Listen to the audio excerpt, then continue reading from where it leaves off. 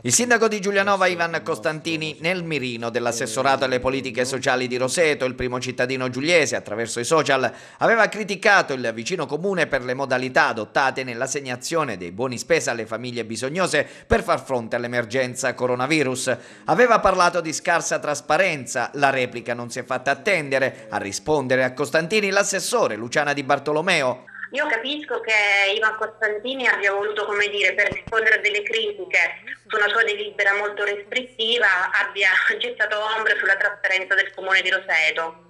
Sono ombre che sinceramente dimostrano scarsa diplomazia politica e soprattutto evidenziano anche un po' di isolamento, a mio avviso, visto che il gruppo civico Oltre, vicino a Costantini, notoriamente la compagine Garziana, a Teramo invece fatto i complimenti proprio a Roseto per la duttilità e semplificazione delle nostre procedure. Il comune di Roseto ha ottenuto circa 186 mila euro che verranno ora destinati alle persone in forte difficoltà e saranno i servizi sociali a stabilire i criteri, tenuto conto del fatto che hanno il polso della situazione sul territorio. Ritengo di aver applicato proprio la lettera, quella che dice l'ordinanza del capo dipartimento della protezione civile il quale dice che in questo caso noi dobbiamo dare aiuto a chi si trova in un'emergenza economica dovuta proprio al Covid, quindi non quelle persone che solitamente, non solo a quelle persone che solitamente aiutiamo, ma a quelle che si trovano in una difficoltà momentanea. E mettere dei criteri stringenti legati al patrimonio eh, mobiliare e immobiliare adesso non è la risposta al nostro avviso perché non riesci in questo modo a dare risposta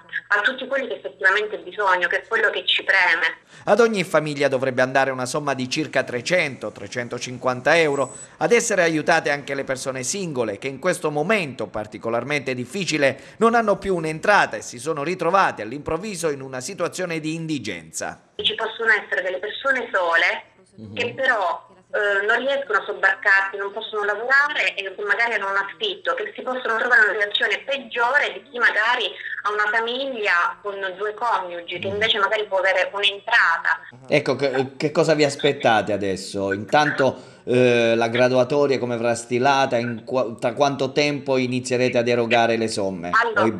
Mm. domande possono essere consegnate da oggi fino a lunedì. Mm-hmm. Questo vuol dire che praticamente poi nella giornata di martedì, ehm, e se riusciamo, se riusciamo entro il giorno di martedì verrà stilata una graduatoria al massimo mercoledì, in modo da dare buoni passo prima di Pasqua